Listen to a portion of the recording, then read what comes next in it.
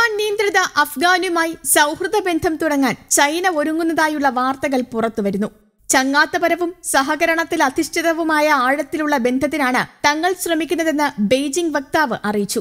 കാബൂൾ പിടിച്ചടക്കുന്നതിന് മുൻപ് അമേരിക്കയുമായും അഫ്ഗാൻ സേനയുമായും താലിബാൻ നടത്തിയ യുദ്ധങ്ങൾക്കിടയിലും താലിബാനുമായി ചൈന അനൌദ്യോഗിക ബന്ധങ്ങൾ തുടർന്നുകൊണ്ടേയിരുന്നു. ചൈനയും അഫ്ഗാനിസ്ഥാനുമായി എഴുപത്തി കിലോമീറ്റർ അതിർത്തിയുണ്ട്. മലനിരകൾ നിറഞ്ഞ പരുക്കൻ അതിർത്തി. എങ്കിലും അഫ്ഗാനെ സംശയത്തോടെയും ആശങ്കയോടെയുമാണ് ചൈന എന്നും നോക്കിക്കാണുന്നത്.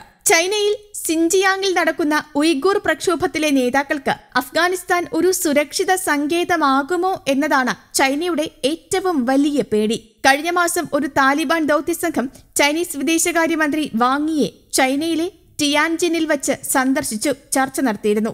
ഉയ്ഗൂർ പ്രക്ഷോഭകാരികൾക്ക് തങ്ങളുടെ അധീനതയിലുള്ള അഫ്ഗാനിൽ ഇടമുണ്ടാകില്ലെന്ന് അന്ന് താലിബാൻ മുന്നറിയിപ്പ് നൽകി. ഇതിനു പകരമായി സാമ്പത്തിക സഹായവും അഫ്ഗാനിൽ നിർമ്മാണ പ്രവർത്തനങ്ങൾ നടത്താനുള്ള സഹായവും ചൈന വാഗ്ദാനം ചെയ്തു. അമേരിക്ക ഉൾപ്പെടെ പല മുൻനിര രാജ്യങ്ങളും കാബൂളിലെ എംബസി പ്രവർത്തനങ്ങൾ താൽക്കാലികമായെങ്കിലും മരവിപ്പിച്ചിട്ടുണ്ടെങ്കിലും ചൈന ഇതിന് തയ്യാറായിട്ടില്ല. അഫ്ഗാനിലുള്ള തങ്ങളുടെ പൗരന്മാരോട് മടങ്ങി വരാനും പറഞ്ഞിട്ടില്ല. ശ്രദ്ധാവാന്മാരായി ഇരിക്കുക കഴിയുന്നതും താമസ സ്ഥലങ്ങൾക്കുള്ളിൽ കഴിഞ്ഞുകൂടുക എന്നാണ് നൽകിയിരിക്കുന്ന നിർദ്ദേശം. ഇതെല്ലാം അഫ്ഗാന്റെ ഭാവി തങ്ങൾക്ക് അനുകൂലമാക്കാനുള്ള ശ്രമങ്ങളുടെ സൂചനകളായി വ്യാഖ്യാനിക്കപ്പെടുന്നുണ്ട്. ചൈനയും അഫ്ഗാനിസ്ഥാനുമായുള്ള ബന്ധത്തിൽ ധാരാളം സങ്കീർണതകളും യാദൃശ്ചികതകളും അടങ്ങിയിട്ടുണ്ട്. പഴയ സിൽക്ക് റൂട്ട് കാലത്തിൽ ഹാൻ രാജവംശത്തിന്റെ വ്യാപാര ബന്ധങ്ങളിൽ തുടങ്ങിയതാണിത്. ആയിരത്തി തൊള്ളായിരത്തി എൺപതിൽ സോവിയറ്റ് യൂണിയനെതിരായ മുജാഹിദീൻ പോരാട്ടങ്ങൾ തുടങ്ങിയപ്പോൾ പണം കൊടുത്ത് സഹായിച്ച ആറ് രാജ്യങ്ങളിലൊന്ന് ചൈനയായിരുന്നു. അന്ന് ചൈന ഇന്നത്തെ പോലെ വൻ ശക്തിയാവുകയോ സാമ്പത്തിക അഭിവൃദ്ധി നേടുകയോ ഒന്നും ചെയ്തിട്ടില്ല. യു എസ് അഫ്ഗാനിൽ യുദ്ധം നടത്തുമ്പോൾ ചൈന വലിയ നയതന്ത്ര ഇടപെടലുകൾക്കും ശ്രമിച്ചിട്ടില്ല. എന്നാൽ അപ്പോഴും അഫ്ഗാനുമായുള്ള കച്ചവട ഇടപാടുകൾ സജീവമായിരുന്നു. അഫ്ഗാനിസ്ഥാന്റെ ഏറ്റവും വലിയ വ്യാപാര പങ്കാളിയും വിദേശ നിക്ഷേപക രാജ്യവും ചൈനയാണ്. അഫ്ഗാനിസ്ഥാനിൽ വിവരസാങ്കേതിക മേഖലയിൽ മുതൽക്കൂട്ടായ ഫൈബർ ഒപ്റ്റിക് കേബിളുകളുടെ വിതരണം ചൈനയിൽ നിന്നായിരുന്നു. അഫ്ഗാനിലെ അമു ദാരിയ നദിക്കരയിൽ നിന്ന് എണ്ണ ഖനനവും ചൈന ഏറ്റെടുത്ത് നടത്തി തുടങ്ങിയിട്ടുണ്ട്. ചൈനയുടെ എഴുപത് രാജ്യങ്ങളിൽ നിക്ഷേപം നടത്താനുള്ള ബെൽറ്റ് ആൻഡ് റോഡ് ഇനിഷ്യേറ്റീവ് പദ്ധതിയിലെ ശ്രദ്ധേയമായ കണ്ണിയാണ് അഫ്ഗാനിസ്ഥാൻ.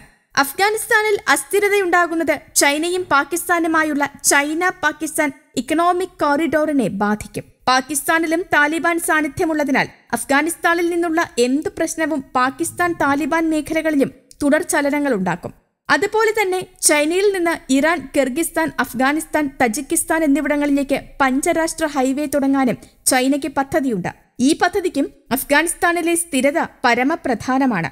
അഫ്ഗാനുമേൽ അമേരിക്കൻ നിയന്ത്രണം ഉണ്ടായപ്പോൾ ചൈനയ്ക്ക് നേരിട്ട് ഇടപെടലിന് അവസരമുണ്ടായിരുന്നില്ലെങ്കിലും പദ്ധതികൾ സുരക്ഷയോടെ ചെയ്യാമായിരുന്നു. എന്നാൽ ഇനി ചൈനയ്ക്ക് വ്യക്തമായി അഫ്ഗാൻ രാഷ്ട്രീയ രംഗത്തേക്ക് ഇറങ്ങി കളിക്കാൻ കഴിയും. പക്ഷേ സുരക്ഷയില്ലായ്മയുടെയും അസ്ഥിരതയുടെയും ഭീഷണി അവർക്ക് മേലുണ്ടെന്ന് രാജ്യാന്തര മാധ്യമങ്ങൾ പറയുന്നുണ്ട്. അമേരിക്ക പോയ ഒഴിവിലേക്ക് ചൈന വരുമെന്നും അഫ്ഗാനിസ്ഥാനിൽ സമാധാനം അവർ പുനഃസ്ഥാപിക്കുമെന്നും ഇടയ്ക്ക് അഭ്യൂഹങ്ങളുണ്ടായിരുന്നു. എന്നാൽ ചൈന തന്നെ അത് തള്ളിക്കളഞ്ഞിട്ടുണ്ട്. താലിബാന്റെ ഈ തിരിച്ചുവരവ് ചൈനയ്ക്ക് അനുകൂലമാണെന്ന് ചില രാജ്യാന്തര നിരീക്ഷകരും അനുകൂലമെന്ന് തോന്നുന്നുണ്ടെങ്കിലും പ്രതികൂലമാകാനാണ് സാധ്യതയെന്ന് മറ്റു ചിലരും അഭിപ്രായപ്പെടുന്നു.